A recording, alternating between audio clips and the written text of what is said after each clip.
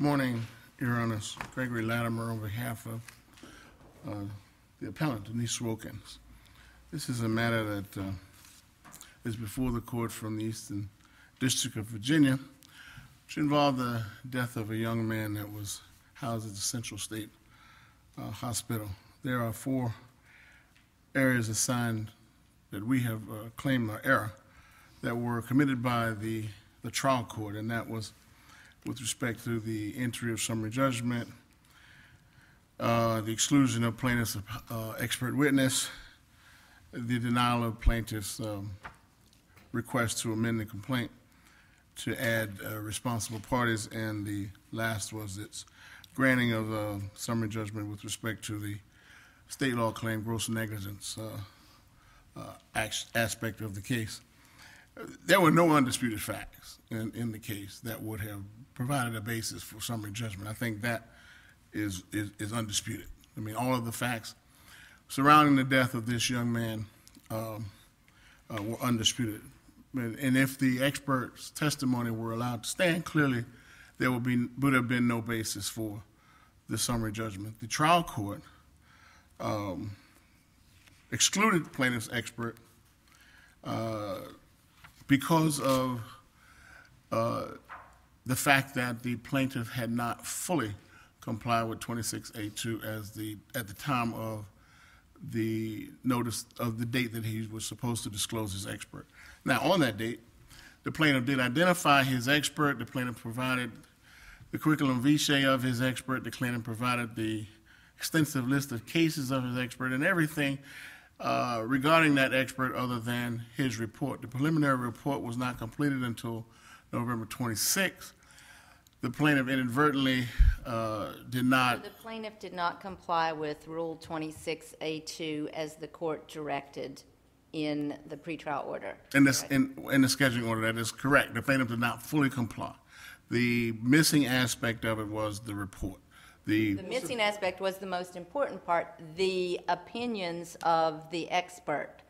And if you did not fully comply, then you did not comply. well, I don't, I don't, I don't deny that, but I think that this court has indicated uh, that the, that the most important aspects of it are the curriculum vitae and the qualifications of the expert, so you at least give the other side an opportunity to examine the credentials of an individual who is going to be And what case is that? That is, um, Carr.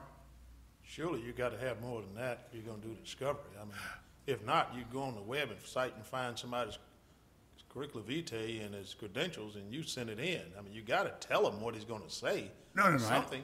I, I, I didn't, I didn't suggest that, Your Honor. I wasn't suggesting that. What I'm saying is that those are, those are very important aspects that this court has indicated, because you do at least give the other side an opportunity to look at the credentials. Other than he's qualified to give an opinion, but if you don't tell him, I mean, sort of the basis of the rule is to get an idea of how strong your case is. That's not gonna tell you anything about your case. He could be the greatest expert witness in the world. I agree. But if his report doesn't help you, doesn't mean anything. There was a preliminary report that was provided, and in a subsequent, much more elaborate report, which far exceeded any of the requirements of the rules. And, and I think when we look, When, what was the date of that report? the elaborate report, the, the, the report that it contained everything and went through the detail was on December twenty-first. Tell me the posture of this case. I guess I'm having someone trying to figure it out. You had someone who was supposed to be watching him, and she's watching TV. Right? The person that was assigned to sit in a chair and look down the hall was watching TV. Nobody was assigned to watch anybody. Did you sue her? No, Your Honor. And then you had the one who was immediately over her, who's supposed to make sure that person is watching down the hall, both of whom are found by some board or something to be negligent. Did you sue her? Well, it was actually a man, and no, Did you sue him? no, sir. And then you, then, then, then and, and Judge Gregory's question is on my mind too, so keep that one there. But, but then, you then, you do sue the hospital, but then you let them off. And then you sue Montgomery, who in fact is not the head person to sue. She's like an assistant. So what's the strategy here? Well, let me, let me explain. For, let's, let- let's talk about the real facts. The, the, the facts are these. And keep in mind, we're talking about the law of the state here, so you are not able to advance certain actions except under common law, and in others, if you're gonna go nineteen eighty-three, you're limited. So, so, so fit that in. I, there must be a strategy here. I, I mean, I'm trying to figure out what The is. hospital is let out because of the sovereign immunity claim, which would, which, which prevents the hospital from being sued in the federal court based upon sovereign immunity of the state of Virginia, the Commonwealth of Virginia. So that's that. We talk about the nurse and we talk about the nurse's assistant, who was the person assigned to look down the hall. I know we're going there, but I want to make sure I understand the posture of it. So there's no state action.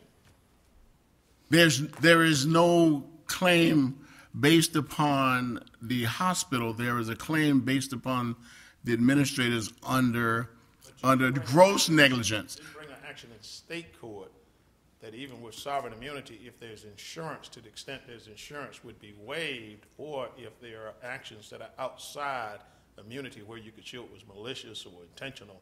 Grossly negligent, which was a claim that was brought here. So that would be a state court action, That would be a state, state, uh, common law claim, yes. but you didn't bring a state action.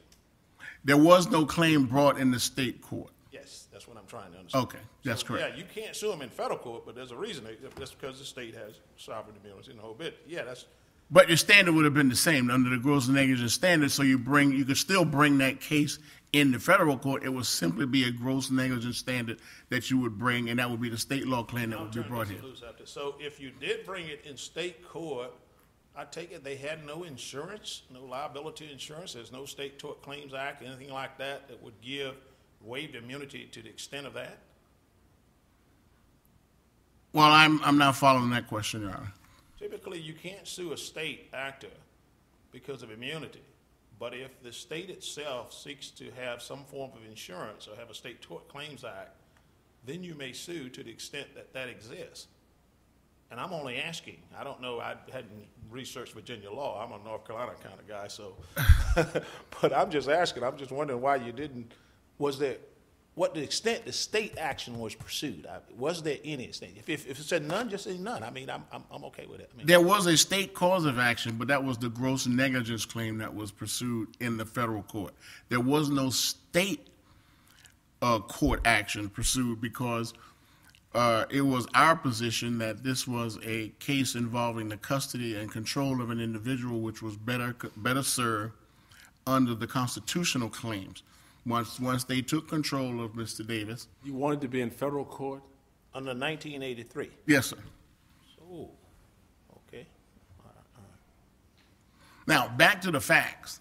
With respect to the nurse's aide that was supposed to be looking down the hall, and with respect to the nurse that was looking down the hall, we did discovery in this case of the nursing supervisor who was the person responsible for uh, assigning all of these duties and responsibilities to these people.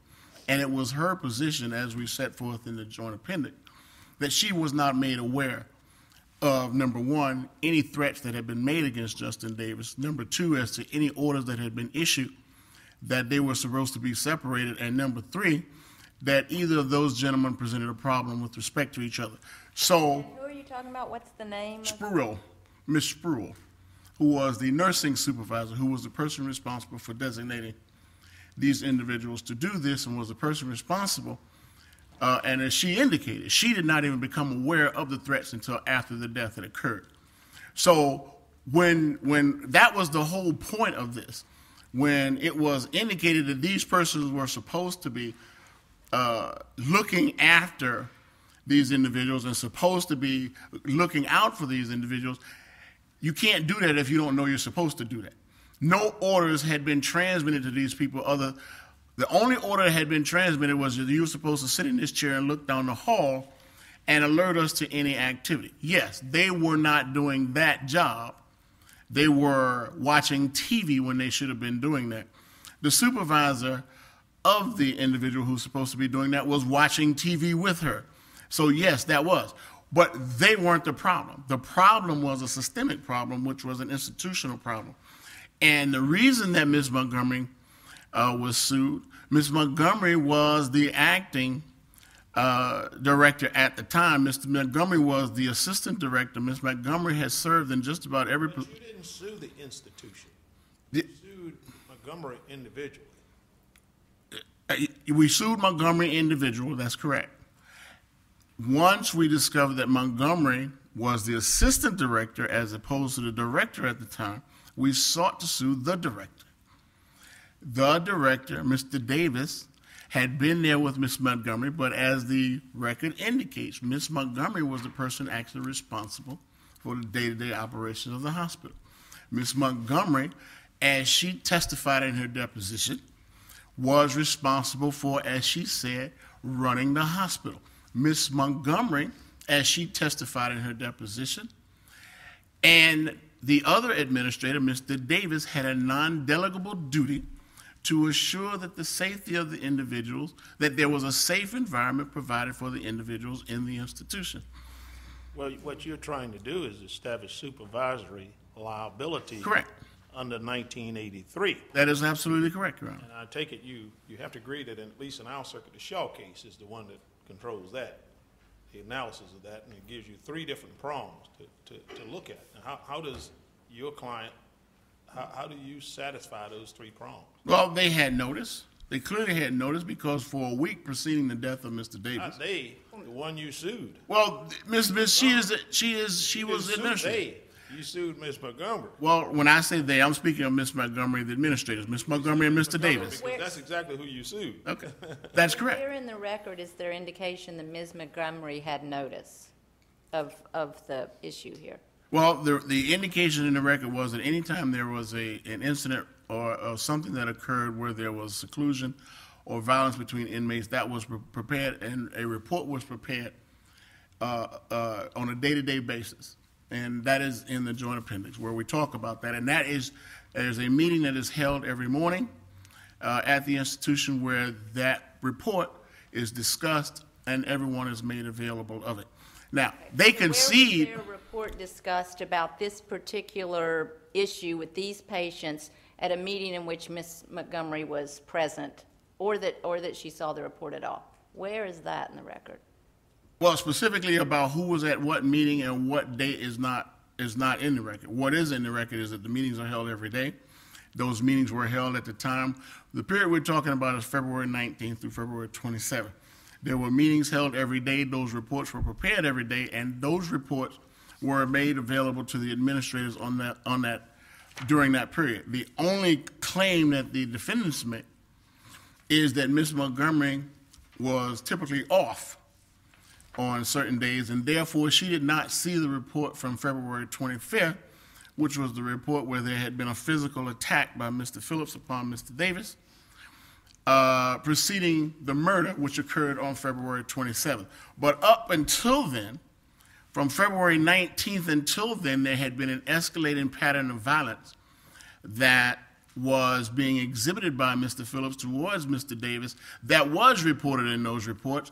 And based upon the testimony of the witnesses and the evidence presented, those reports would have included that information. And in fact, the daily notes of the nurses did indicate uh, the, the, the threats the escalating violence, and in fact, Dr. Duarte, who was one of the people who was involved, had been specifically informed of the threat uh, by Mr. Phillips upon Mr. Davis, and that was information that was passed along to Dr. Yaratha. That was information that Dr. Yaratha indicated he passed on to the forensic team. That was information that Dr. Yaratha testified was something that would have been presented to the administrators during that time, and that threat that he was going to snap his neck. Right, and you know, in that entire recitation, I didn't hear you mention Ms. Montgomery. Miss, when I when you say I don't mention Mrs. Miss Montgomery, when I speak of the administrators, I'm talking about Miss Montgomery and Mr. Davis. Those are the administrators. There are only two. the director and the assistant director. The administrators are Miss Montgomery and Dr. Davis. Those are the, the two people who convened the meeting. Those are the two people with whom these matters were discussed. And so, you're right. I don't mention that, but I do say administrators, and that's what I'm. That's how I'm using that term. Because you only sued her. Well, that's not what we on. We we sued her, and we also attempted to bring in the other responsible parties, Dr. Davis and Dr. and Dr. Uratha, and we were prevented from doing that. Bec- It was the timing of doing it. Well, no, the judge didn't. the- the- the- I don't think the timing would come into it because I think that, uh, as the Supreme Court indicated in uh, Krupski, I believe it is, it's not the timing that that that that uh, controls in, a, in, a, in an amendment. What what controls is whether or not these individuals knew or should have known during a particular period of time that they would have been named but for a mistake. So it's not the timing, and I don't think, even if that were the case, that the timing would be the issue in this case because the timing was not that long after the case was, was initiated. In this particular case, after discovery was conducted, after the facts became clear that these were the responsible parties and these were the parties that should have been there, that's when we moved to amend. The trial court did not indicate that. The trial court simply said that it would be futile because it didn't relate back. And I submit to the court that it would relate back because these individuals clearly knew or should have known that they would have been named as defendants in this case, but for the mistake, which is exactly what the case law teaches. I mean, the argument here was, well, they didn't know because they didn't have notice. This court in, in, in, in Praxair, I mean, this court made the analogy. They didn't have notice, is it the notice of the fact that there was something that happened? I mean, that sort of triggers a statute of limitations. I mean, at some point in time, you've got an act that occurs, but then if you don't know about it until years later, you can't come in and sue someone, they don't. Well, that wasn't the issue of notice. I mean, clearly they had, they had, they knew about it. I mean, they were there. Dr. Yaratha was the doctor on the unit. Dr. Yaratha is still the doctor at the particular unit today. They didn't know about the lawsuit until after the statute of limitations had expired. That is what the claim of the defendant is, yes. That is the notice that they were arguing. But that's, again, when you look at the case law, I mean, as this court, and it made the analogy in Praxair, if service upon the, the Attorney General of the United States constitutes service upon all of his, all of the agencies of the United States and its officers, clearly service upon Attorney General of the state of Virginia would constitute service upon all of its agencies and or officers. How many months after the incident uh, was the lawsuit filed?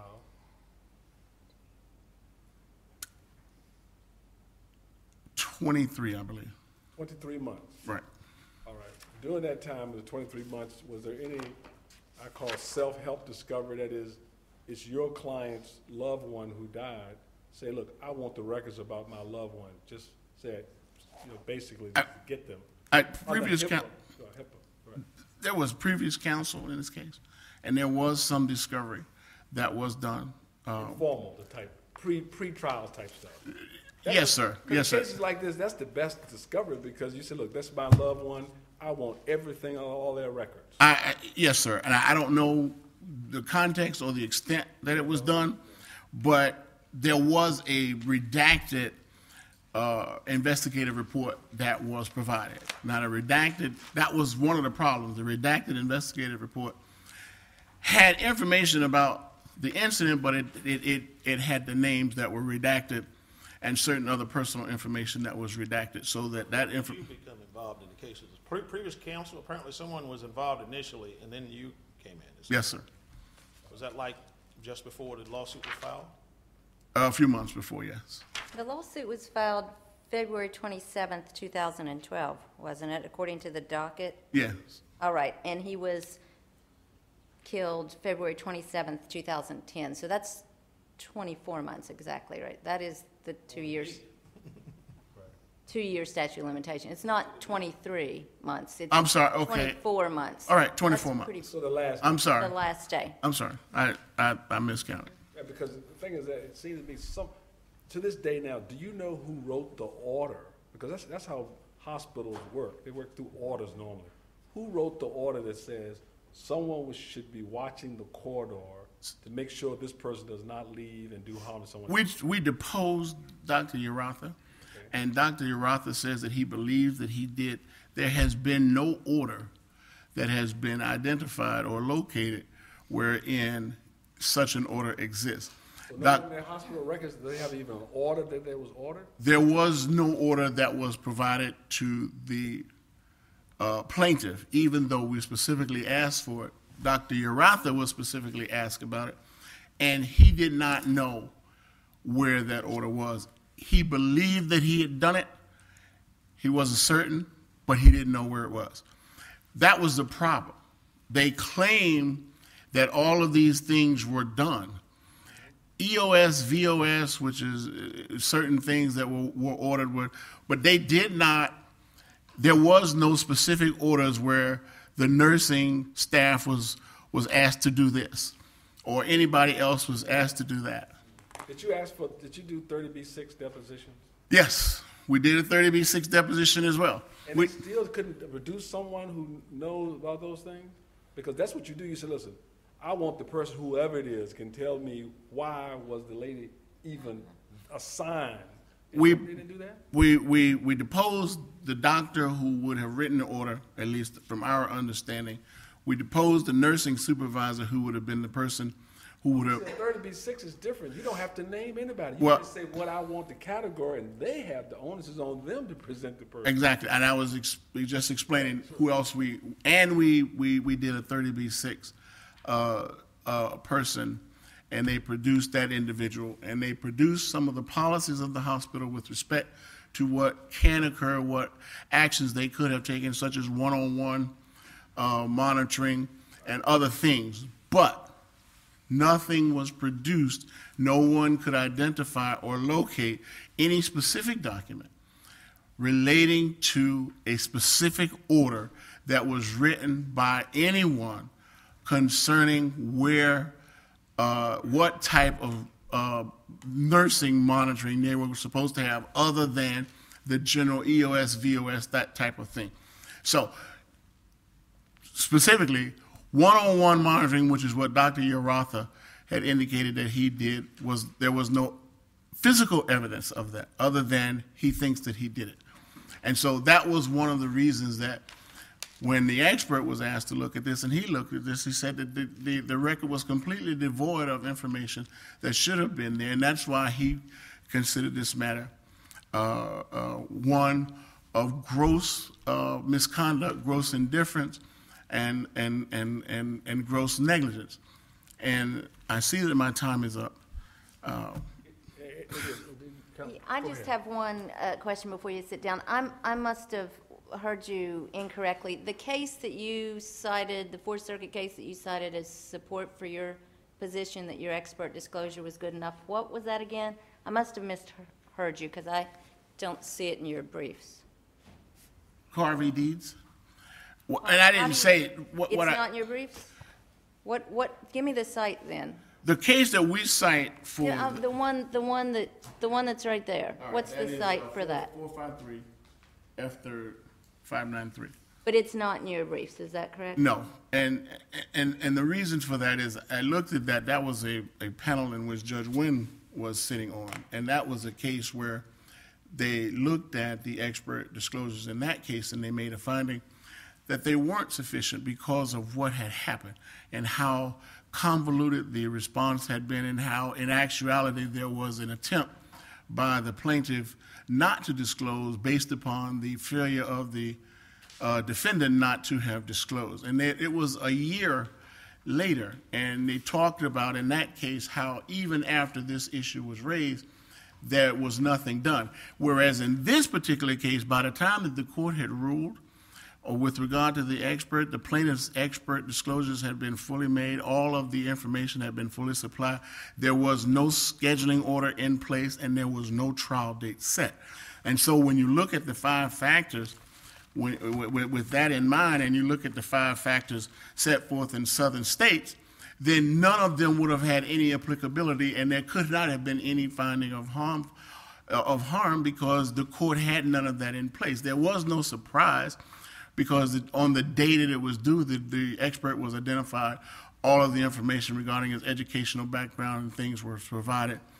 And like I said, the court had no scheduling order or trial date in place at that time. So there was no basis for harm. And that is an exception. When you're talking about this, you have to take it in context. We filed a motion to alter or amend, pointing out to the trial court that it had not even made an assessment of those five I- I was more interested in the fact that you were arguing a case that was not in your briefs. Okay. All right, thank you, uh, Mr. Latimer. Uh, Mr. Gilbody?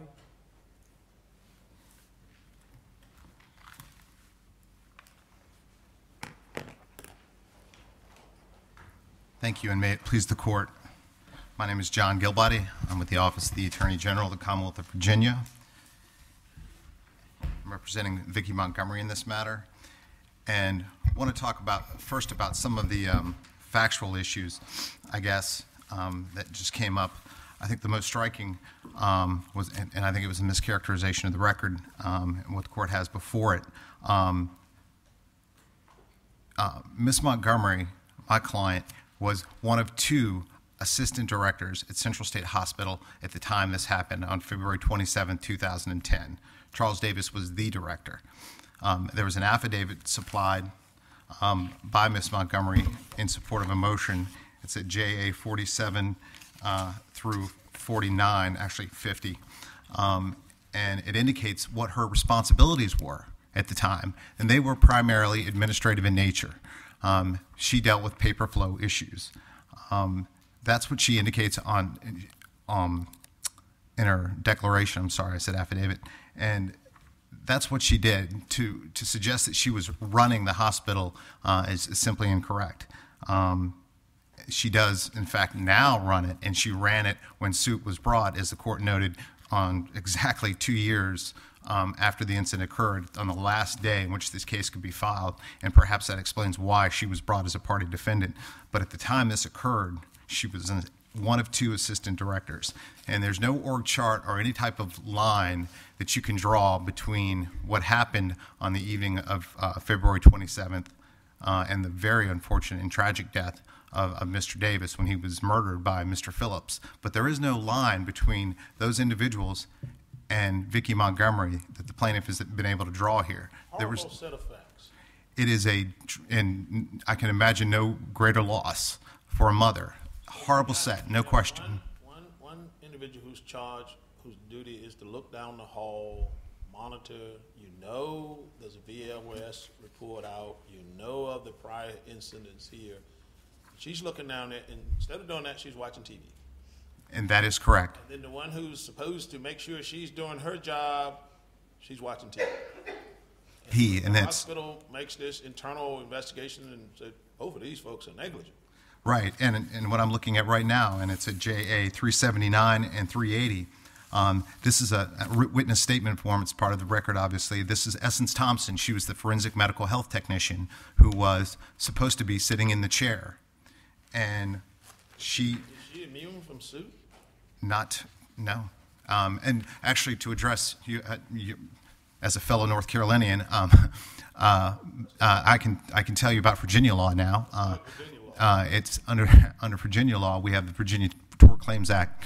Um, for for simple negligence, a claim can be brought against the Commonwealth um, for the actions of in state court for the actions of employees of the Commonwealth with a limit of liability of $100,000. Likewise, um, for gross negligence, gross negligence claims can be brought. It was much thirty years ago, wasn't it? Um, Going up, hundred thousand dollars. I, I can't comment on that, and uh, and uh, um, I don't think uh, the attorney general would want me to say anything on that issue. I'm quite positive. Um, in any case, what she, what Essence Thompson points out, though, in, in, in her statement, is she says, "I was not at my post, which which is up against the right wall, looking down the hall at 22:15. That's military time. What I when I did my checks, Miss Davis was in his bed." Um, or I'm sorry, I'm not reading from the right part. But in any case, I have. She says I have no reason for not doing my other two checks. Um, she Bad case against these two people, but your point is none of this is connecting up Ms. Gummer. there, there's Miss Miss Montgomery was in charge of paperwork at the time, and she was an administrator um, and an RN. Now, there's a number of problems with the claim against her, both, both actual and legal, in the sense that Does she have any direct authority over these two individuals? none. No, I mean, Supervisory authority? no, no, sir. I suppose even if she did, you're saying the three prongs on the Shaw is not met for nineteen eighty-three. Correct. There's just simply, there's, there's only, well, let me address it a little bit more completely. She's an RN, um, and it, but really she's operating as an administrator of a hospital. And as we, as we all know, uh, when you have a hospital, you have doctors. Um, and doctors have to make professional judgments. And in, that, in this case, that would be Dr. Urotha. He had to make a professional judgment. And what he made, he made a professional judgment, and he put, among other things, he put George Phillips, the murderer, on violence observation status. He made that clinical determination. Is he immune from suit? He is not. Well, he is not immune, which is not to say that the statute of limitations hasn't al- already expired, and, and I'll get to that. Right, but he is not. There's no immunity that he has from from suit, um, and he was likewise. He was. This all occurred at one ward, Ward 39 at Central State Hospital, which is the forensic ward where they have people who are. Um, you know, being prepared for- or being waiting for trial, and quite often, if there, there needs to be a determination made as to whether or not they're mentally prepared for, for trial. Um, and that's his area of specialty for, for Dr. Rotha, as I understand it. And he made a clinical determination. So we can kind of take a, a step back from the whole thing. The claim here is deliberate indifference. He made a clinical determination, and indeed, in in the appellant's reply brief, which I don't see, ah, here it is, um, the appellant makes the point um, that, that, um, and I forget where, but the, the appellant makes the, the precise point that Dr. Urotha made a cl- clinical determination to continue him on violence observation status even after he'd looked at all the information that was contained in the AOD reports, and those are the reports that, that um, Mr. Latimer referred to earlier that would be talked about every morning. In, a, in the context of deliberate indifference, a clinical determination was made, a decision was made, and that's what Judge Gibney uh, below pointed out that you can't. I mean, starting with your claim, it doesn't work that way because they looked at this as what, he calls escalating violence. In fact, there were um, a couple, there were very just a couple of incidents, and at least in the AOD reports, and indeed in the AOD report, um, the only one that Mo- Vicki Montgomery would have seen. This is from uh, the murder occurred on a Saturday, so there was less staff and it was a weekend. And, and, it, as her affidavit indicates, she did not work Fridays at that time. So the way an AOD report works is you would, whatever happens, for instance, on a Wednesday is then reviewed in the Wednesday morning or in the Thursday morning meeting. Um, likewise, whatever happens on Thursday is reviewed on a Friday morning meeting. Now, the only document, and this is JA 362, that's the only document that could possibly have put her on constructive notice. And her testimony was she didn't recall whether or not she actually remembered having a meeting about this. She did recall some conversation about Mr. Phillips in her, in her deposition testimony that's contained in the record. But the only thing um, that she would have possibly seen at all, at all relating to these individuals who she's never met was um, regarding uh, Mr. Phillips, the patient reported feeling threatened by a peer. Uh, Justin Davis states he will not give him another warning, um, and he or he'll end up flying out here on a, uh, in a helicopter to a hospital. And then looking down on that same page relating to Justin Davis, it said patient has been entering other patients' space today and has called, caused several patients to become angry. So what we can infer uh, from that would be that Mr. Davis came in and bothered Mr. Phillips, and Mr. Phillips got angry about it. That's the only document, the only document that she could have, that, that in any reading of, uh, of the facts before this court, that she could have been aware of. There's a lot of hyperbole in the briefs that have been filed um, by the appellant, but there's no substance, there's no factual foundation for any of that. Um, in point of fact, um, she just didn't have notice, and she she hadn't. she was fulfilling her role as an administrator at, at the hospital at the time. And in that respect, summary judgment was, was appropriate as to um, Ms. Montgomery. Now, dealing with the second issue, um, the, the expert issue, um, the timeline there is pretty straightforward. Originally, he was supposed to be um, uh, designated by October 21. By agreement of counsel, that would be me, um, we extended that to November 21st, 2010, 2012. Now, on 2012, I received a designation without a report. Um, uh, apparently, Do- Dr. Voskanian wrote a two-sentence report on November 26th, and I have that report.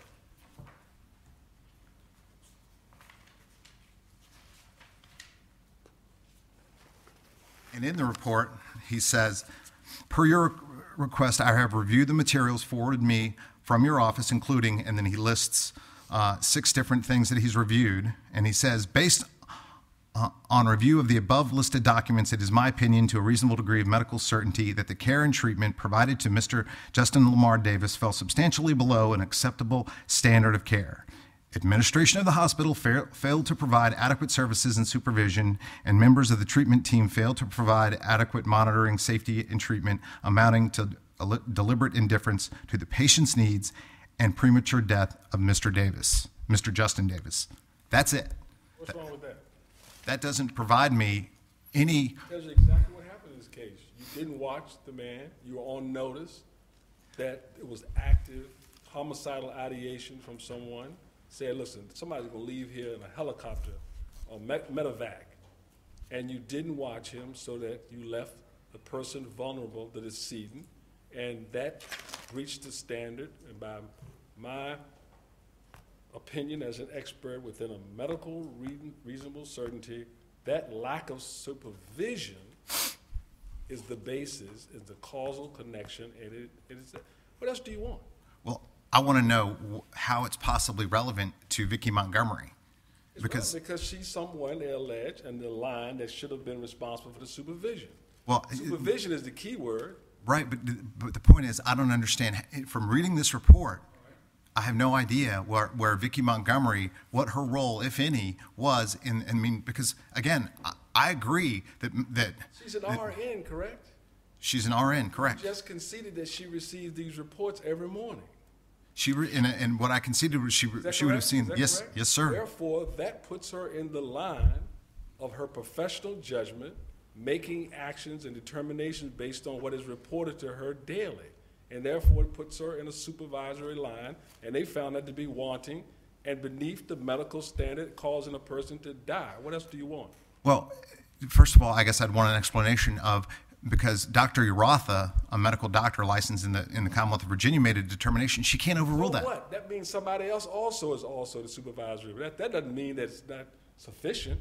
In other words, you're saying that maybe somebody else should be sued. And I agree, somebody else should have been sued. But that doesn't mean that the person that he's not focused on, the, the defendant, is not in the supervisory chain. This is not somebody sawed off the wrong leg. This is someone did not supervise appropriately, and that's all you can say as a medical expert that the supervision falls short because you're an RN, a licensed medical provider in the state of Virginia, and I am a Virginian. Uh, and then you, as a direct causal relationship to that, you allowed a person to die when the man said, "I'm going to kill someone." But, but what would be lacking there, Your Honor, Yes. um, would be the knowledge that, that what is being ordered, the violence observation status, Um, is not being followed. And there's no, there's no question, but there's no notice to, to Vic, Vicki Montgomery of that. The point is, there, she was, question? there's no question, I thought you said she got the one that said something. no, no, no, no, no, I'm, I'm sorry, you're, you're, I think I misspoke, Your Honor. Well, what I'm saying is, is that the people who were supposed to be observing were not observing. We know that. Okay, that's boots on the ground. That Right, that right. But the point is, she had no way of knowing that they wouldn't do their job.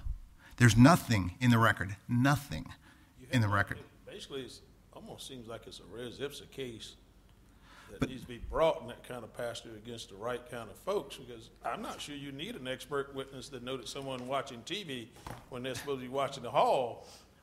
Well, she, in her own statement, she said, I have no excuse. I mean, she was supposed to be doing, and the thing is, there's no way. Your defense is centering on who it was that was sued. You say she was an administrator in that administrative person, and even when the reports were given, she wasn't there when this particular report came out. She might have been on notice generally, but you've got a hospital where you've got all kinds of threats because of the nature of where she is. That happens probably a lot. Uh, and And, she has to rely upon the, the clinical judgment of the physicians in the various wards. This is Ward 39. There are a number of wards in, in, in a place like this. And what you'd be holding her to a standard of if anyone doesn't do their job, either, I mean, Yeah, yeah. Because- But here's, here's, here's, here's the difference. I- Maybe I'll make myself plain. What I'm saying is this, it's, you're conflating something different. The question here is should, was it error not to allow the expert's report? Now, in cases, cases have building blocks. Now, ultimately, you're right, we're gonna have to prove as to respondeat superior, as to uh, Montgomery, but one building block is, let's show that there is a violation of the medical standard that happened, and then next connect her to that violation. But how do you throw out the expert opinion just because it doesn't do all things that are necessary to prove liability against this defendant? That's a different question.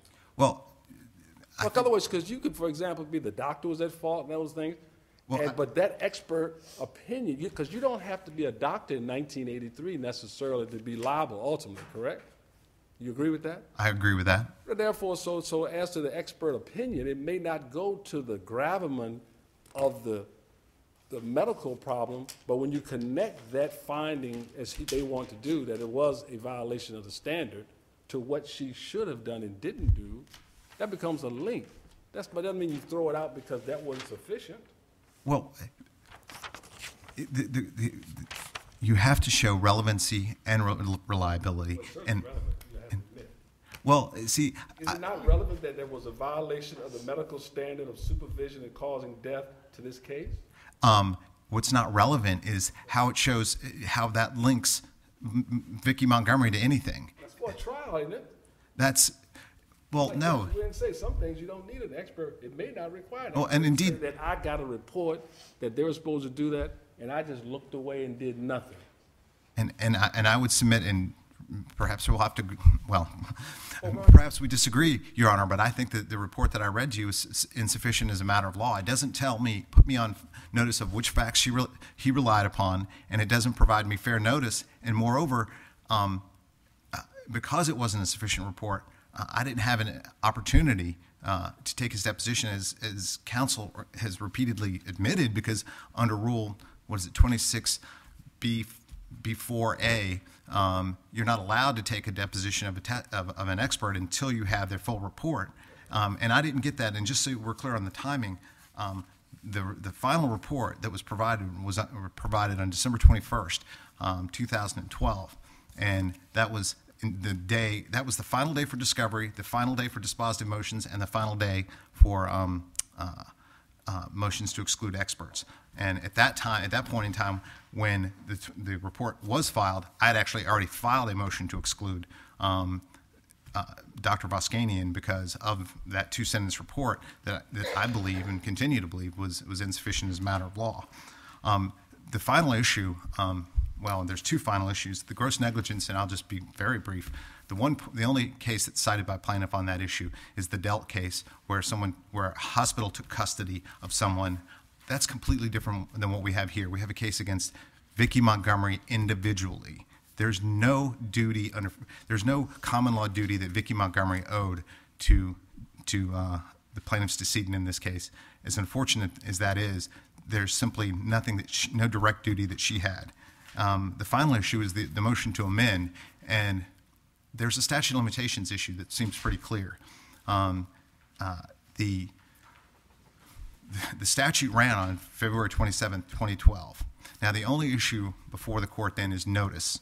Um, uh, under the Goodman versus Praxair, which I think counsel and I agree are, is the controlling Fourth Circuit case, and we both extensively relied upon that, the standard is they had to have notice and both um, Dr. Uratha and Dr. um, Davis um, indicated in affidavits, um, Dr. Uratha became aware uh, of the lawsuit on November 8, 2012, according to his affidavit, and that's at JA 260.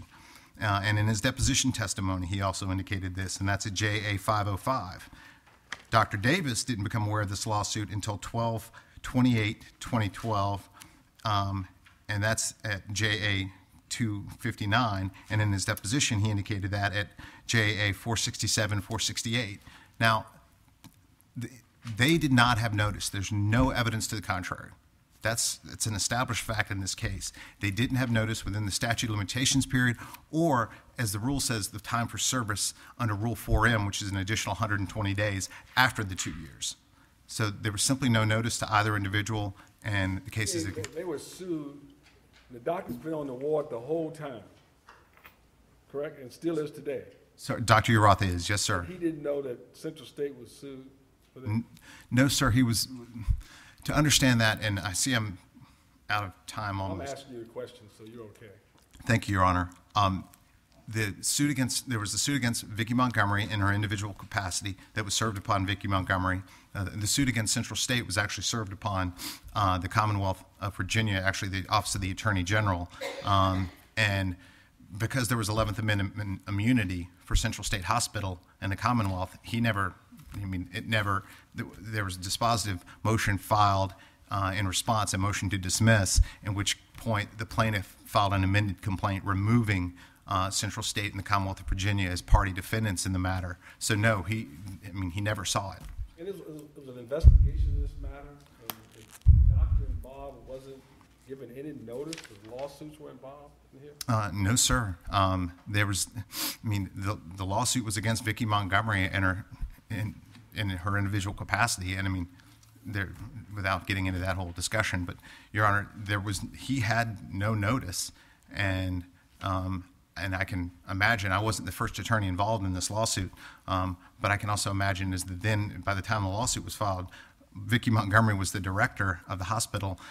I- I would imagine it's not something she necessarily wanted to share with, it's not a, uh, something one wants to share if, if one is in a leadership position. I imagine, um, I, I don't run hospitals, so that's my assumption, but I have no idea. All I know is that the testimony is very clear, he had no notice. Did you, go, go ahead. Ms. Montgomery is being sued individually. Yes, sir. State of Virginia, through the Attorney General, in the hospital, uh, got them out. So why are you representing her Because I'm representing her as an employee of the Commonwealth of Virginia. in her status as an employee? Because the liability that can flow from this could be where? Well, The be- hospital, against the state? Um, well, it has to do. you mentioned insurance before, and um, it, there's uh, that. That's a. It's there's a difficult question. And did you give, in the discovery, did you let them know what the, what the, all, give them all of the records? The Um, they were- notes, everything? Did- Um, they had all the medical records, to my knowledge, and one of the first things that Mr. Um, Latimer requested was an unredacted version of the report um, that he mentioned earlier, and, and I gave that to him as soon as he asked. Um, and Report of what? um, there was an investigative report, and it's actually found in the record.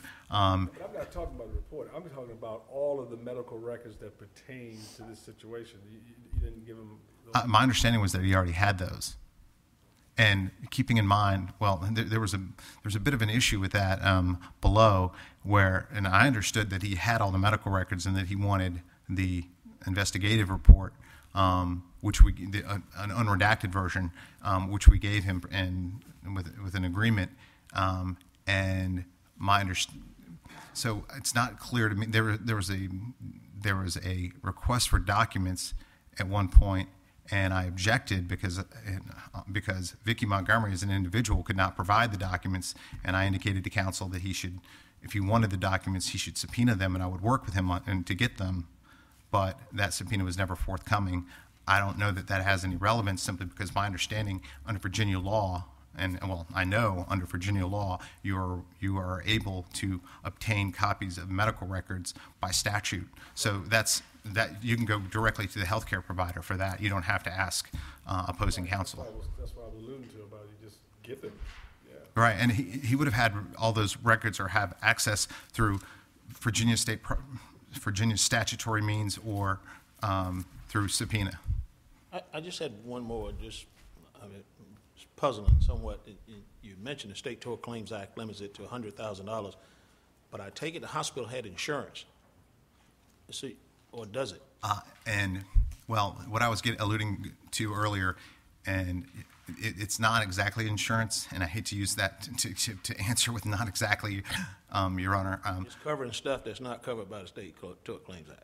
And it, there's a there's a risk management plan that is in, in that is administered by the Commonwealth. So it's much like that. It's it, it quacks like a duck, but it's not quite a duck. Um, right. With no more questions, thank you very much. Mr. Latimer, you have some time reserved.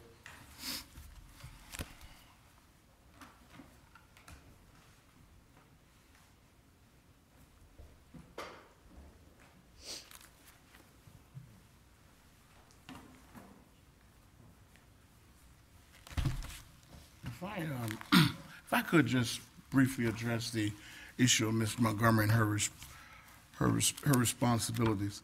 Now, the issue has been, I guess, they've made this statement that Ms. Montgomery only had administrative responsibilities.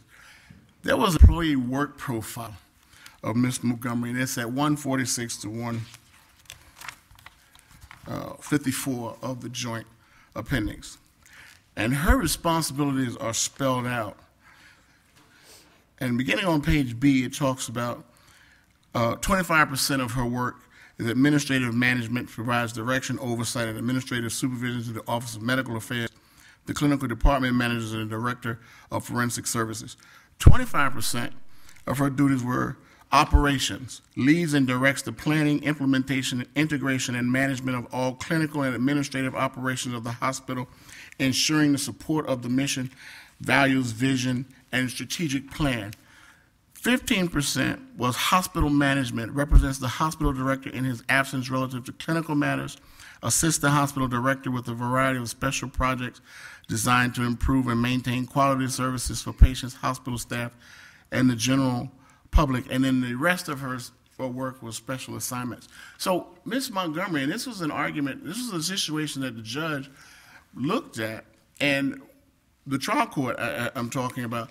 And Ms. Montgomery was not just this person that they're trying to make to be uh, an administrative person. She had direct oversight based on her performance appraisal, based upon what she was paid for. This was her responsibilities. They talked again. They talked about the they didn't have a right or discovery was closed when plaintiff's expert report, and that's just not true. If you look at the initial scheduling order in this case, the defendant wasn't even to name his expert until December 21st. The plaintiff then had a right to name rebuttal experts by December 31st. Depositions for experts could have taken place all the way through that time period. So when they say to you that the time for uh, them to take the deposition, they didn't want to take the deposition of the expert. And what the plaintiff pointed out below was that you're claiming prejudice, but you never even sought to take the deposition, and then claim that you couldn't take it because you didn't have an expert report. You could have taken it when you got the preliminary report. You could have taken it when you got the whole report on December 21st.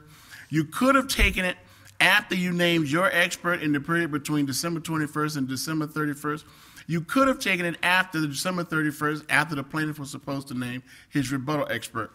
They didn't do it because they didn't want to do it, and now they're trying to use that as a shield and claiming that that is the harm.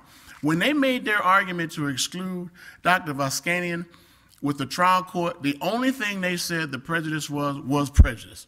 That's it. Nothing else. When the plaintiff pointed out that they could point to no real harm in this, then they adopted what the plaintiff said, which was that they did not have a request to take their deposition and had been precluded from doing that by virtue of not having the, the, the uh, expert report. So what we've submitted is that was a contrived uh, a harm that didn't exist because in this case, as I've said, discovery wasn't closed. In fact, their expert, they hadn't even, uh, the, the time for them to name their expert hadn't even passed, and the time for plaintiff to name her rebuttal expert hadn't passed, and depositions could have taken place. But most importantly, at the time that the judge precluded the plaintiff from doing this, there was no scheduling order in place. There was no trial date. There was nothing. There was, even if there were a harm, that was nothing to prevent it being cured. So when you look at the five factors set forth in southern states, the expert should have been allowed. The expert opinion, the trial court said simply that we just can't have this because we put it forth in the settlement in, in the initial scheduling order and, and therefore we can't allow it. And and that So you say it was an abuse of discretion? is an abuse of discretion not only to do that, but courts repeatedly have indicated that trial courts or any court that fails to exercise its discretion abuses its discretion. And in this case, the trial court did not exercise discretion. It did not even consider the five factors of Southern State.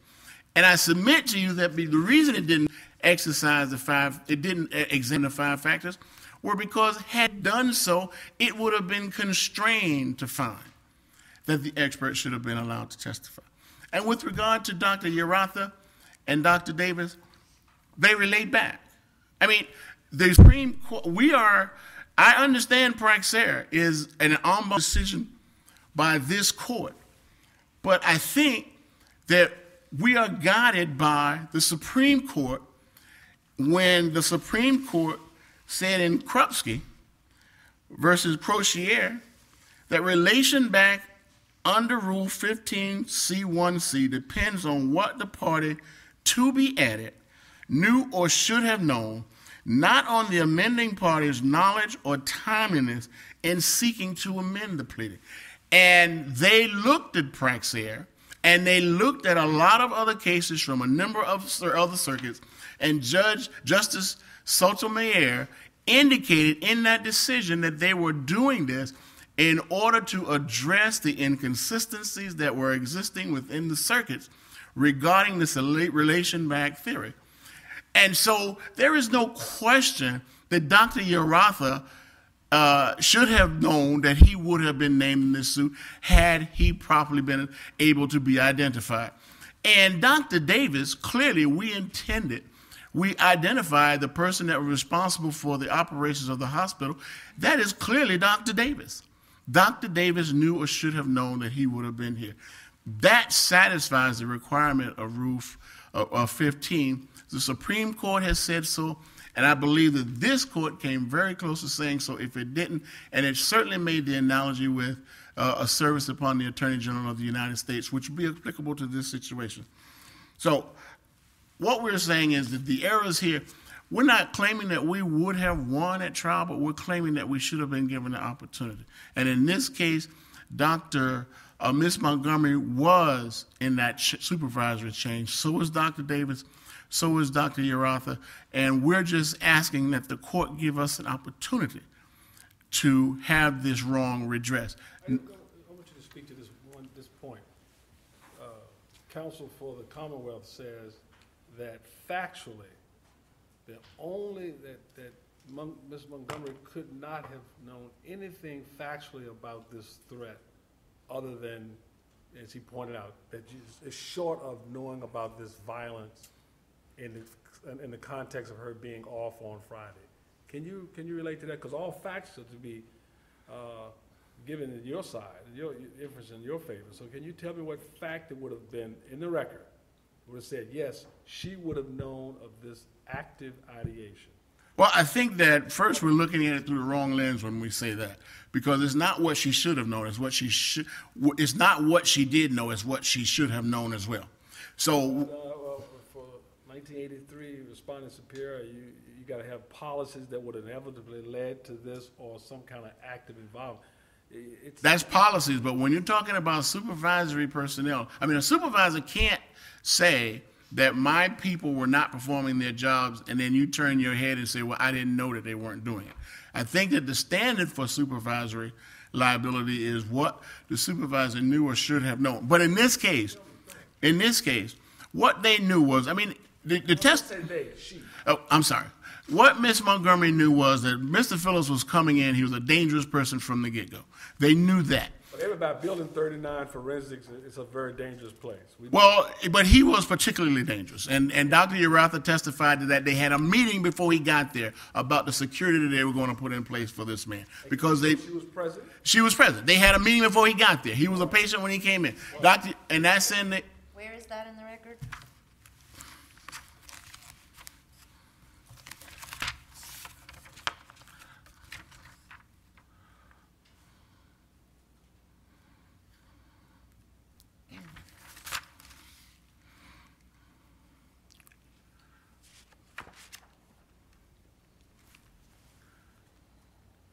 Believe it's at 182 to 193. I mean, You said one eighty-two? 182 to 193, Dr. Uratha. Okay.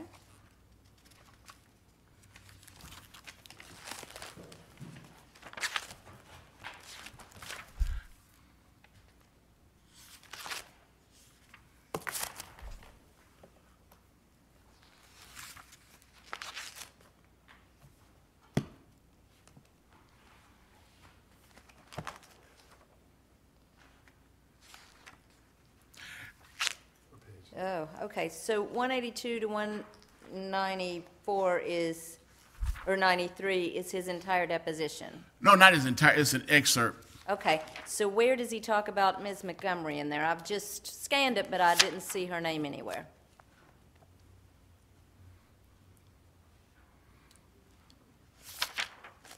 On, on 190, Okay? uh, he talks about, and, and again, I guess we get into the question of your, when we're talking about administrators, that's what he talks about. Okay, so where he, where, where the question says, and that should be provided to you and the administrators, that's where you're inferring that that was Ms. Montgomery? Yes. Okay? But the information that they had uh, about him was about the dangerousness of the situation. And, and so Ms. Montgomery, as I said, would have had the reports. In addition to that, uh, it is our position that because if, if you're responsible for the operations of the hospital because you take the day off, it doesn't mean that you're, that you are not aware of the situation of the hospital. And in, in this particular case, Well, let's hold it right there, put a little thumbnail. You're right. It doesn't mean you're not aware, your day off, but what is the evidence that she would have known that someone would be watching television the next day and not do that job? That's the question. Well, we had first. It's not whether you had known that there was a specific, but you that she would have known that there was no proper supervision, and this is why you know that because on February 25th, Mr. Phillips attacked Mr. Davis in the gymnasium. Now you know that improper supervision was being uh, conducted because of this. As Ms. Sproul testified in her deposition, he should have never been in the gymnasium. When you're on VOS, EOS, you don't go to the gymnasium, and he should have never been there in the first place. She knew That's based on her knowledge from your inference that she was an administrator at the onset, knowing how dangerous he was. She knew already he was in the wrong place, right? Well, no, well, well, everybody knew he was in the wrong place. There was no question that Mr. Davis, I mean, Mr. Phillips shouldn't have been there based upon his status, EOS, VOS. He shouldn't have been in the gymnasium when the attack occurred. assuming that now we're to a higher level now, we have guard the corridor to make sure he stays in. Now, what them says that she should have known that that wasn't being done or could not be done. Well, that's see, that's the that's the uh, that's the misunderstanding, and that is the there was no guarding. There was there was a person sitting down the hall looking down the corridor. There was nobody that was supposed to prevent there being contact between Mr. Davis and Mr. Phillips. There was nobody preventing Mr. Mr. D- Mr. Phillips from being out of his room. That person was just supposed to watch the corridor to assure that nothing happened in the corridor. That person did not have any directives to keep Mr. Phillips out of Mr. Davis's room. That person, presumably, if he had what what was seen, nothing happened in the corridor. This is in the record. This is nothing happened in the corridor. What happened was that Mr. Phillips went into Mr. Davis's room on two occasions, and based upon the time that he went in and what occurred, and this occurred because there are video cameras that were monitoring the hall uh, during the entire period. And Ms. Spruill testified that even though they had the ability to see whether or not active uh, that the orders were fulfilled with, with regard to monitoring, nobody ever looked at the at the cameras. But in this case, we only know that Mr. Phillips murdered him because he went in two times and the, and the time of death as recorded. So if even if they had been watching the corridor, nothing would have prevented Mr. Phillips from entering that room because they had never been told not to let those people there, and that is the problem. Your problem, based on what she knew, her position being an RN in a supervisory position, she should have written direct orders specifically related to his not being able to come out and Exactly, and the fact that you're an RN has nothing to do with it. As she testified, hospital is a building.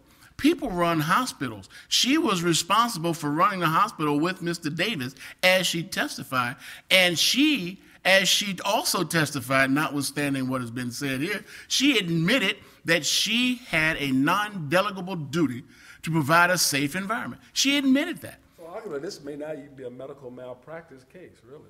It's not a medical malpractice case. This is a case involving uh, dereliction of duties and the deliberate indifference of the people who are supposed to safeguard the safety of those individuals because they have deprived them of the right and the opportunity to do so for themselves. Any first question? Thank you, Your Honor. Mrs. Ladder, and uh, thank you. We will um, adjourn the court for today and then come down and greet counsel. This honorable court stands adjourned until tomorrow morning at nine thirty.